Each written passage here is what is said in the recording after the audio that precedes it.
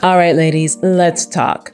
When it comes to fitness, strength training, and nutrition, most of the advice out there is built for men. It's like the whole industry just copy pasted what works for guys and handed it to us like, here you go, this should work for you too. But newsflash, we're not small men, and our bodies, our hormones, our physiology, completely different. And yet, for decades, the research on training, strength, endurance, and even nutrition has been overwhelmingly focused on men, leaving women to just figure it out for ourselves. Now, that might not seem like a big deal at first. After all, muscles are muscles, right? Strength training is strength training. Nutrition is just about eating healthy and just hitting your macros. But if that were truly the case, then why is it that some weeks you feel like an absolute powerhouse in the gym, hitting personal records, feeling strong and capable, and then boom, other weeks it feels like you're just dragging yourself through every single rep?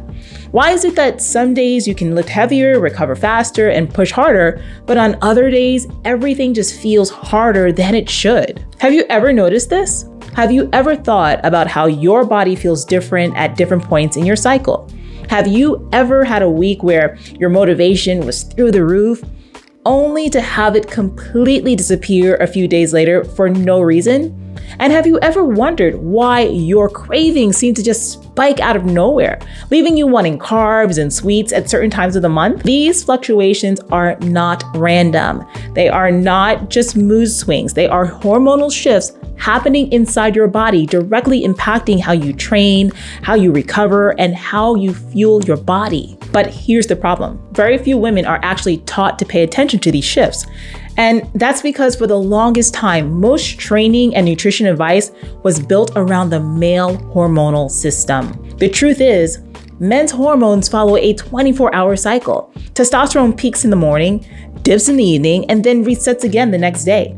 This means that for men, their energy, strength, and recovery stay relatively stable day after day. That's why strength training programs follow the same structure week after week. They're built for a hormonal system that does not fluctuate much. But for us, our hormones do not operate on a 24 hour cycle, they follow a monthly cycle. Estrogen rises and falls, progesterone rises and falls, our metabolism shifts, our ability to recover changes, our body's fuel preferences change. And this means that trying to follow a training and nutrition plan designed for men can actually work against us instead of for us. So, why has no one been talking about this? That's the million dollar question. But the good news is that things are starting to change.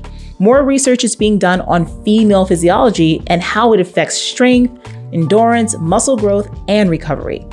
And that's exactly what we are going to break down in this series. This is going to be a multi part deep dive into the science of training as women. We're going to break down the menstrual cycle phase by phase and explore how your hormones impact your performance, recovery, metabolism, and even your diet. We're going to look at the latest research, including studies that suggest that women may actually perform better when their training is aligned with their cycles. And over the next few videos, we're gonna just break this down and uncover the secret to result driven, science backed training that every woman needs to consider. And this is why understanding your body, your unique physiology as a woman is the key to unlocking better results in your training. Now, the more you work with your hormones instead of fighting against them, the more consistent, sustainable, and effective your training will become. Now, if this is your first time here and you're hearing about this, you might be wondering, how do I start making these changes? How do I know if my hormones are helping or hurting my progress? Well, honey, guess what? I'm gonna go ahead and help you to figure that out. My name is Roxy Beckles. I'm a fitness coach, a bodybuilder, and your go to for training smarter, eating better, and thriving at every stage of life. I've helped women from around the globe achieve their best bodies, from their 20s to their 50s and beyond, guiding them to build strength gain confidence, and completely transform their physiques. These are just a few examples of the countless women I've helped over the years. And if you're watching this and you're ready to build muscle, reshape your physique, and feel stronger and more confident in your skin, it all starts with knowing your body. The first step to achieving the body you want is understanding how your hormones impact your progress. This is important for women of all ages, whether you're in your reproductive years or transitioning through menopause. Hormones dictate everything from how well you build muscle to how efficiently you burn fat to how quickly you recover from your workouts. And if you do not understand your hormones or how your body works, you could be unknowingly working against yourself instead of optimizing your results. That's why I created my free guide, Hormones Decoded. If you want to start tracking your hormones and understand exactly how they're impacting your fitness, grab your copy now. Just go ahead and scan the QR code that you see on your screen or click the link down below in the description. One of the biggest studies currently underway is this study called the IMPACT study, a randomized controlled trial designed to test whether training at different phases of the menstrual cycle leads to measurable improvements in endurance and strength.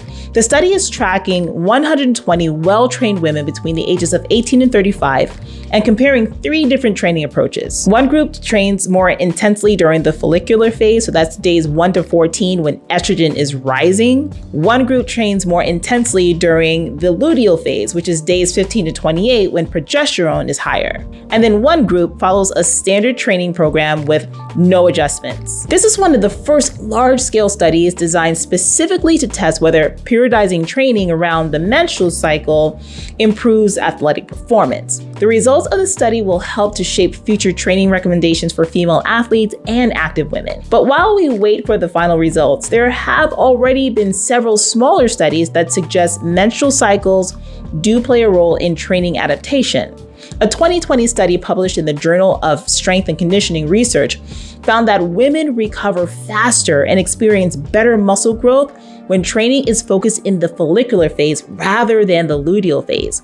Researchers observed that higher estrogen levels in the first half of the cycle are linked to improved muscle protein synthesis, which means better muscle repair and recovery after workouts. Another 2022 study published in Sports Medicine analyzed female athletes and found that high intensity training is more effective in the follicular phase compared to the luteal phase. The researchers noted that progesterone, which is dominant in the second half of the cycle, has been shown to slow down muscle repair and increase inflammation, making it harder to recover from high intensity workouts. And it's not just strength training that is affected. Endurance performance is also influenced by the cycle. Research has shown that women tend to burn more carbohydrates for energy during the first half of the cycle and rely more on fat oxidation in the second half. This means that how you feel your workouts might need to shift depending on what phase of the cycle you're in. Now, despite these findings, there's still so much we don't fully understand about how the menstrual cycle affects training and nutrition, but one thing is clear. Our bodies do not respond to the training protocols in the way that men's bodies do. And if we want to train smarter, perform better, and optimize our results, we need to stop following a one size fits all approach and start working with our bodies instead of against them. And you know, this is why understanding your own cycle, tracking your patterns, and applying what we already know from research can help you to take your training to the next level. So instead of feeling like your progress is just unpredictable, instead of getting frustrated by energy dips and performance plateaus, you can start using science based strategies to work with your body's natural rhythms. Now that we know why women have been left out of research for so long and what science is finally telling us about training and the menstrual cycle, the next step is to break down exactly how your cycle impacts your training, performance, and metabolism phase by phase so that you can start to apply this knowledge to your workouts right away. If you've ever wondered why some days you feel like you're on fire and other days you feel completely wiped out, honey, this next video is gonna answer all of your questions. And honey, trust me, you're not gonna wanna miss a single thing. So go ahead and click this video right over here to watch the next one and all the videos in this series. I'll go ahead and see you over there.